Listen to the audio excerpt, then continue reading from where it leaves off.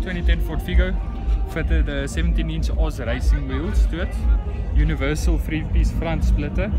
It has a full intake exhaust system with branches, custom front badge, uh, custom made canards, camo wrap fenders, gloss black wrap roof with a gloss black fin. A Fiesta ST150 fin.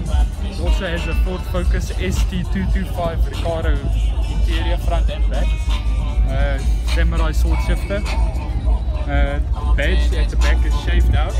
Uh, it has custom made canards, exhaust system. And uh, the rear wiper delete also has a full sound system in.